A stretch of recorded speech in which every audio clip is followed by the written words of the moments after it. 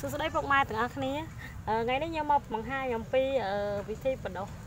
ផ្កាស្បៃរឿងហើយនិងបដោះផបណូសម្រាប់ដាំហូបនៅក្នុងផ្ទះផ្កាស្បៃរឿងវាដាំលម្អនៅក្នុងផ្ទះយើងក៏ស្អាតដែរទឹកដាំលម្អនៅក្នុងផ្ទះណាហើយនឹងបដោះផបណូអណូនេះយើងអាចដាំខ្លួនឯងបាននៅក្នុងផ្ទះដោយសារយើងបាច់ទិញគេអញ្ចឹងណាសម្រាប់វាអីទៅទៅក៏អាចដាំបានដែរអណូនឹងវាមិនត្រូវអីហ្មងចិត្តដាក់នេះទៅ ឡើងតាមលបងតាមអីចឹងណាបណោអានេះគឺវិធីធ្វើដីវិធីធ្វើដីនេះយើងយកដីធម្មតាមួយដាក់លាយជាមួយនឹងអាចគោអឺយើងលាយវាឲ្យវានេះណាឲ្យវាសប់ទៅអាចគោយើងយកអាចគោស្ងួតហើយបើវាអត់ទៅម៉ត់ទេយើងនេះវាវាម៉ត់ចឹងទៅដើម្បីយើងវាចូលគ្នាទៅវាល្អឥឡូវនេះយើងនឹង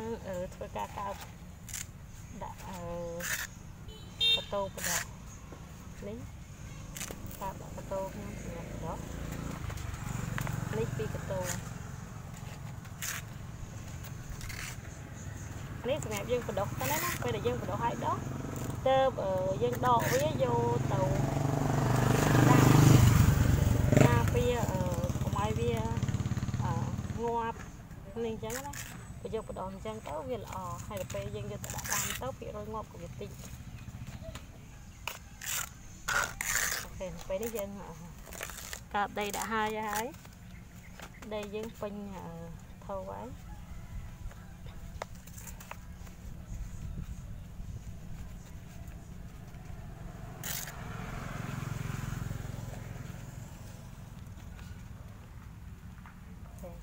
នេះយើងបានដី2ធូឥឡូវយើងចាប់ដើមធ្វើការបដោះគ្រាប់អណូមុននេះ នេះជាក្របអណូក្របអណូក្របអណូនេះអឺ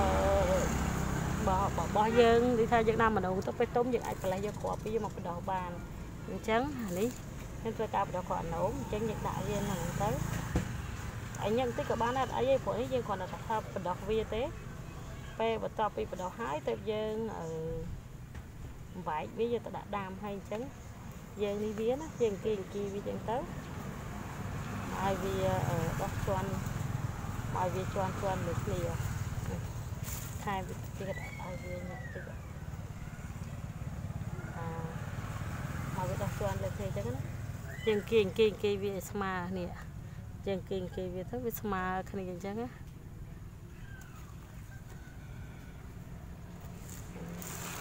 នេះគ្រាប់ការស្បែករឿងអឺ គ្រាប់ការស្បែករឿងនេះយើងបំបាច់ទិញគេក៏បានដែរយើងមានគ្រាប់ខ្លួនឯងយើងយកបដោះមកប៉ុន្តែយើងរើសណាយើងរើសទុកអាណារៀងប្រជុំរៀងធំធំអញ្ចឹងទៅយើងយកវាមកបដោះមកទុកពូជទុកពូជពេលដែលវាធំអញ្ចឹងនេះគាត់ស្បែករឿងអាពពួកអីចេះវាមើលអត់ឃើញខ្មៅខ្មៅទេណាចង់និយាយថាអឺគ្រាប់អញ្ចេះសសអញ្ចេះ គឺយើងបដោះវារុះទេគាត់តែវាមានឡើងខ្មៅខ្មៅអានេះអឺវាអត់ដោះទេព្រោះខ្ញុំបេះវាទុកឲ្យបានមើលវានៅខ្ចីពេកនេះតើតើវាឡើងខ្មៅខ្មៅចេះគូស្វាស្បែករឿងវាឡើងខ្មៅខ្មៅអញ្ចឹងទៅយើងបដោះទៅវាឆាប់ដោះណាអញ្ចឹងយើងបដោះស្រួលទេការស្បែករឿងស្រួលមែនតើនេះយើងហាយវាដាក់ចូលទៅក្នុងអញ្ចឹងទៅយើងមកពូជណាធំធំអញ្ចឹងណាដល់វាយើងហែកវាដាក់ទៅ យើងមើលអាណាល្អល្អខ្មៅខ្មៅនេះយើងបេះអានេះវាចេញក៏បានដែរកុំឲ្យពេលដែលយើងរោយវាទៅឲ្យវាដុះហើយវាមកវាបានជន់គ្នាកាសបែបនេះជាប្រភេទការស្រួលយើងដាំហើយយើងយើងពេលវាទុំយើងបេះពូជវាទុកទៅអញ្ចឹងយើងអាចយកមកបដោះខ្លួនឯងបានហ្នឹងឃើញទេឥឡូវនេះយើងបានពីរថោនេះ អឺផ្កាស្បៃរឿងអឺនេះខ្វាត់នៅនោះបានពីរនេះសម្រាប់បងប្អូនអឺពុកម៉ែចង់អឺបដោះអីគឺងាយងាយធ្វើដូចខ្ញុំអញ្ចឹងបន្ទាប់ពីគេយើងបដោះហើយអញ្ចឹងយើងយកដីវាដាក់រោយពីលើណារោយរោយរោយរោយវាពីលើអញ្ចឹងទៅហើយយើងស្រោចទឹក ដូចគ្នាទាំងគ្រាប់អណូក៏យ៉ាងណាយើងធ្វើការរយដីវាពីលើទៅរយដីពីលើហើយយើងស្រោចទឹកធម្មតាអញ្ចឹងណានេះយើងធ្វើការស្រោចទឹកអានេះយើងបដោះខ្លួនឯងនៅក្នុងផ្ទះអញ្ចឹងទៅពេលដែលយើងនេះយើងអាចដាំ ខ្លួនឯងទៅយើងមានរបបដាក់វាវាតាមរបងវាតាមអីអញ្ចឹងណាយើងហូបខ្លួនឯងសោះតែយើងអឺទៅទិញគេនាំអស់លុយផងនិយាយទៅវាងាយមែនតើអឺ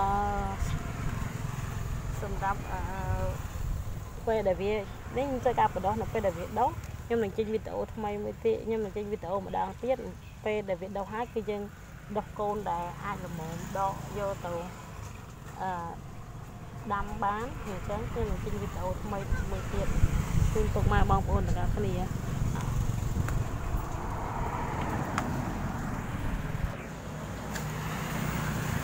ហើយនេះជាខ្ទឹមដែលបានបដោះនៅវីដេអូមុនសម្រាប់បងបងស្ត្រីមេផ្ទះដែលចង់ដឹងពីរបៀបបដោះខ្ទឹមបដោះខ្ទឹមសសម្រាប់ដាំយកទៅដាំទៅហូបបដោះយកមើលសម្រាប់ទៅហូបនៅក្នុងផ្ទះគឺអាចទៅមើលវីដេអូមុនមុនបាន ហើយនេះក៏ខ្ទឹមក្រហមជាមួយគ្នានៅវីដេអូមុនមុនបងទាំងអស់គ្នាអាចមើលបានហើយខ្ទឹមក្រហមនេះយើងបដោះមានអត្ថប្រយោជន៍ពេលយើងបដោះវាទៅវាអាចចេញជាស្លឹកមកសម្រាប់យើងកាត់យកទៅឆាបានមិនបាច់ទៅទិញគេក៏បានដែរវាបើនេះបដោះដូចខ្ញុំអញ្ចឹងទៅបដោះដាក់ខ្លាំអញ្ចឹងទៅអញ្ចឹងស្រួលនេះ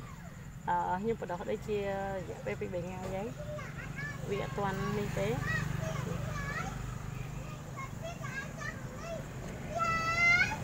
យើងងាយងាយណាសម្រាប់បងប្អូនស្ត្រីមើលទៅដល់ត្នេត្នេគឺយើងអាចធ្វើខ្លួនឯងនៅផ្ទះដោយសារដល់យើងបាច់ទិញគេ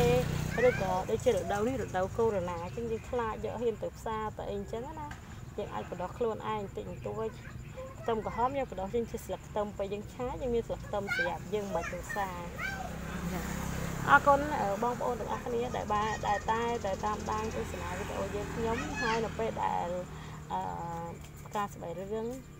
ដូចជារណងដូចជាខ្ទឹមសខ្ទឹមក្រហមទាំងអស់ហ្នឹងនៅពេលដែលវាចាប់ដើមដោះចេញស្លឹកអញបែកបានឬក៏អាចយកទៅប្រើប្រាស់បានខ្ញុំនឹងចេញវីដេអូបន្តទៀតអឺតើពេលដែលវាដោះចេញស្លឹកហើយយើងត្រូវធ្វើមកយកទៅបដោះហើយយកទៅដាំឬក៏យកទៅធ្វើអីបានអញ្ចឹងណាអរគុណសម្រាប់ការចូលរួមទស្សនាវីដេអូយើងខ្ញុំអឺហើយកុំភ្លេចជួយ Subscribe វីដេអូម្នាក់មួយម្នាក់មួយផងអរគុណពុកម៉ែបងប្អូនទាំងគ្នាជំរាបលាជួបគ្នាថ្ងៃក្រោយ សូមអរគុណសូមជម្រាបលា